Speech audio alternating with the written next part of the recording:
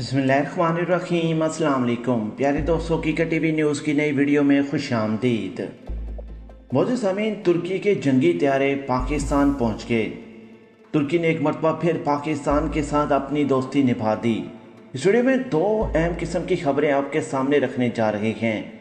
एक तो तुर्की के दर्जनों त्यारे पाकिस्तान में दाखिल हो गए और दूसरी अहम खबर यह है कि सऊदी अरब का बरसों से जारी यमन जंग के खात्मे के लिए बड़ा फैसला सामने आ गया है। ये वीडियो इंतहाई इम्पोर्टेंट है। वीडियो को एंड तक देखें और अपनी कीमती राय से हमें ज़रूर आगा करें। वीडियो की मजीद तफसील में जाने से पहले हमारी वीडियो को लाइक करके चैनल को सब्सक्राइब करना मत भूलिएगा। नीज हमारी वीडियो को लाइक कमेंट करके सोशल मीडिया अकाउंट्स पर शेयर करें। कमेंट्स बॉक्स में Pakistan army world top agency आई और इमरान खान जिंदाबाद का नारा लगाना मत भूलिएगा। नजरी ग्रामी, तुर्की और पाकिस्तान की दोस्ती पूरी दुनिया को खटक रही है। तेवरगान और इमरान खान जिस तरीके से मुस्लिम दुनिया को लीड कर रहे हैं, काफरों के लिए यकीनी तौर पर ये दोनों बहुत बड़ा चैलेंज साबित होंगे। तुर्की के जंगी तैयारे अचानक पाकिस्तान पहुँचे तो भारत में पहुंचाल खड़ा हो गया। तफसीत के मुताबिक तुर्की ने एक मरतबा फिर पाकिस्तान के साथ अपनी दोस्ती निभा दी है। तुर्की के पायलट्स और जंगी तैयारों का खसूसी ग्रुप पाकिस्तान पहुँचा है। तफसीत में बताया गया है कि तुर्किश पायलट्स का ग्रुप सोलह तुर्क योम पाकिस्तान की परेड में शिरकत करेगा और शिरकत करने के साथ साथ सोलह तुर्क एफ़ सिक्सटीन जंगी तैयारों के साथ वो मुख्तलिफ़ किस्म के करतब दिखाएँगे। तुर्क पायलट्स का ये ग्रुप माजी में भी योम पाकिस्तान की तकरीब में शिरकत कर चुका है। दूसरी जानब योम पाकिस्तान के मौके पर शेड्यूल परेड मौसम की खराबी के बायस 25 मार्च तक मुलतवी कर दी गई है। पाक फौज के शोबा तलकाता माँ आई एस पी आर की जानब से जारी बयान के मुताबिक कहा गया है कि मौसम की खराबी और अगले दो रोज तक बारिशों की पेशगोई के बायस योम पाकिस्तान परेड के शेड्यूल में तब्दीली की गई है। नजरी ग्रामी बयान में कहा गया है कि joint service Pakistan day parade अब 25 मार्च 2021 को प्रोग्राम के मुताबिक होगी। और इसके अलावा नजरी ग्रामी अब बढ़ते हैं। दूसरी अहम खबर की जानब, जिसने यकीनी तौर पर पूरी दुनिया को एक मरतबा हिला कर रख दिया है। ट्विटर अकाउंट से लेकर सोशल मीडिया के हर अकाउंट पर यह खबर डिस्कस की जा रही है। सऊदी अरब का बरसों से जारी यमन जंग के खात्मे के लिए बड़ा फैसला सामने आते ही पूरी दुनिया में बौछाल खड़ा हो गया। तफसीत के मुताबिक सऊदी अरब की जानब से जंग ज़दा खलीज मुल्क यमन में अमन के क्याम और जंग के खात्मे के हवाले से अहम तरीन ऐलान कर दिया गया है। सऊदी हुकूमत ने खत्े में जंग के खात्मे के लिए अमन अमल का आगाज़ किया है। इस अमन अमल के तहत यमन में आयद पाबंदियों में नरमी की जाएगी। यमन में हौसियों के जेर कब्जा इलाके पर आयद सफरी पाबंदियाँ और नाकाबंदी नरम करने का ऐलान किया गया है। इसके अलावा अमन अमल के तहत यमन के सनफा एयरपोर्ट को दोबारा से खोलने की इजाज़त दी जाएगी, जबकि अल हदीदिया बंदरगाह की नाकाबंदी में भी नरमी की जाएगी। यमन अमन अमल के हवाले से सऊदी वज़ीर खारजा फैसल बिन फरहान ने बताया कि हौसियों के जेर कब्ज़ा सना एयरपोर्ट से कुछ मकाम के लिए परवाज़ों की आमदोरफ्त की इजाज़त दी जाएगी, जबकि अल हदीदिया बंदरगाह पर भी तजारती सरगर्मियों के आगाज़ की इजाज़त होगी। मजीद बताया गया कि यमन अमन अमल के तहत अल हदीदिया बंदरगाह से हासिल करदा revenue Al Hudaydah central bank के हवाले किया जाएगा। बताया गया कि यमन अमन अमल के हवाले से मजीद तफसीत जल्द जारी की जाएँगी। यकीनी तौर पर सऊदी अरब की जानब से यह बहुत बड़ा कदम उठाया गया है। अगर हम पिछले चंद सालों पर नज़र दुला कर देखें तो हौसी बागियों की जानब से सऊदी अरब के मुख्तलिफ़ शहरों को निशाना बनाया जा रहा था।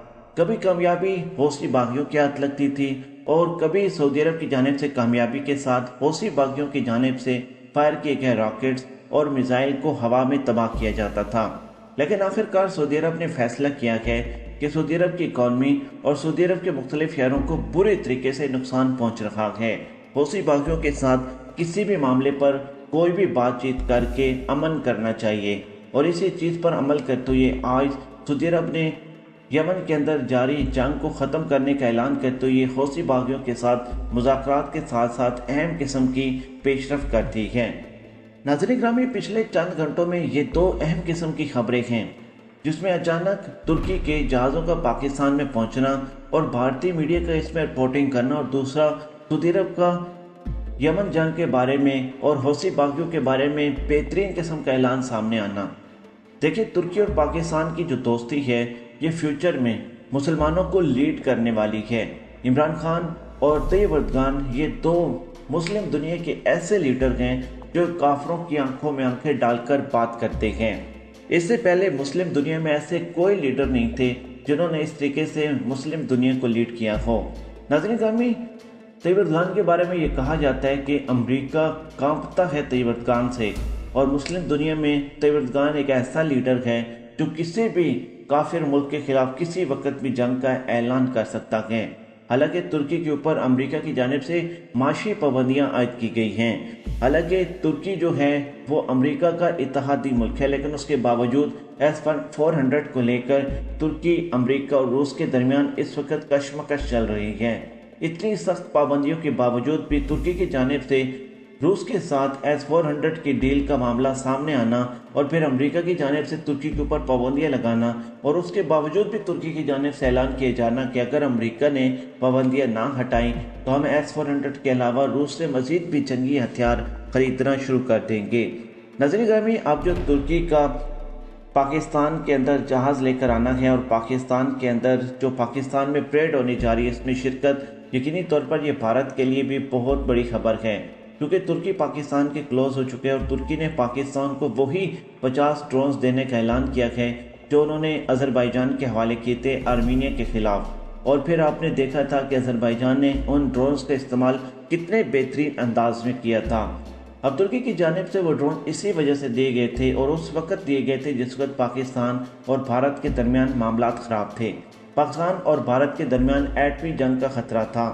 फौरी तौर पर वो जो ड्रोन्स थे पाकिस्तान के हवाले किए गए, ताकि पाकिस्तान लाइन ऑफ़ कंट्रोल के करीब उनको तैनात करके न सिर्फ़ कामयाबी के साथ भारत की जासूसी करे, बल्कि उन ड्रोन्स के इस्तेमाल करते हुए मुख्तलिफ़ चौकियों और मुख्तलिफ़ किस्म की कार्रवाइयों को रोक सके और बर वक्त कार्रवाई करके उनको तबाह कर सके। अब तुर्की की जानब से जो ड्रोन्स दिए गए थे, वो इतने ख़तरनाक थे कि वो कई हज़ार किलोमीटर की बुलंदी तक उड़ सकते थे और 10 से 15 घंटे तक वो परवास कर सकते थे।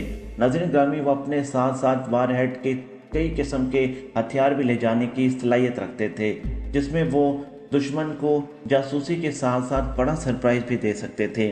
अब तुर्की ने हर मोड़ पर पाकिस्तान के साथ दोस्ती की इंतहा की है और तुर्की ने यह साबित किया है कि तुर्की पाकिस्तान के साथ खड़ा है पाकिस्तान के अच्छे और बुरे वक्त में। दूसरी तरफ़ सऊदी अरब ने यमन जंग के बारे में जो फैसला किया है, वो सऊदी अरब ने इंतहाई बेहतरीन फैसला किया है। क्योंकि सऊदी अरब के मुख्तलिफ़ शहर अब हौसी बागियों के निशाने पर आ गए थे। हौसी बागियों और सऊदी अरब के मुख्तलिफ़ शहरों में हज़ारों किलोमीटर के फासले होने के बावजूद भी हौसी बागी सऊदी अरब के शहरों को निशाना बनाने में कामयाब हो रहे थे और अब आखिरकार अमन का ऐलान हो चुका है। वीडियो को लाइक करके चैनल को सब्सक्राइब करना मत भूलिएगा।